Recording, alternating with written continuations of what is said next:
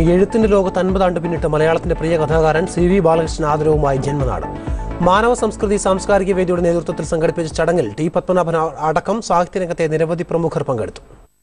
ദിശ എന്ന പേരിൽ കാസർഗോഡ് പടന്നക്കാട്ടാണ് രണ്ട് ദിവസം നീണ്ടു നിൽക്കുന്ന ആഘോഷ പരിപാടി. കഴിഞ്ഞ അരനൂറ്റാണ്ട് കാലം മലയാള സാഹിത്യത്തെ സമ്പന്നമാക്കിയ കഥാകാരന് ആശംസകളുമായി എത്തിയത് സാഹിത്യ തറവാട്ടിലെ കാരണവന്മാരായ ടി പത്മനാഭനും എം മുകുന്ദനും. വളരെ ചെറുപ്പത്തിൽ തന്നെ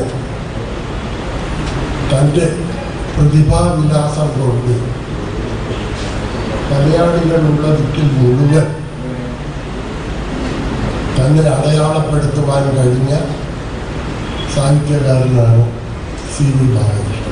ആശംസകളുമായി എത്തിയ മയ്യഴിയുടെ കഥാകാരൻ സി വിയെ പൊന്നാടയണിയിച്ചു ബാലകൃഷ്ണന്റെ എഴുത്തിന്റെ സൗന്ദര്യമാണ് അതിന്റെ ലാളിത്യവും അതിന്റെ ആർജവുമുള്ള ഭാഷയും പിന്നെ ബാലകൃഷ്ണൻ നിലപാടുകൾ. ബാല്യത്തിന്റെ അനുഭവങ്ങളാണ് എഴുത്തിൽ വഴികാട്ടിയായതെന്നായിരുന്നു എല്ലാ ആശംസകൾക്കും സി വി ബാലകൃഷ്ണന്റെ മറുപടി.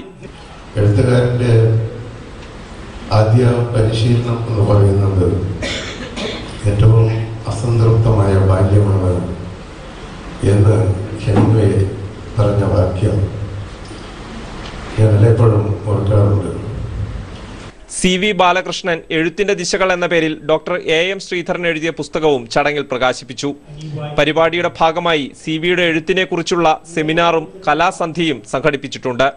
മനോരമ ന്യൂസ് കാസർഗോഡ്.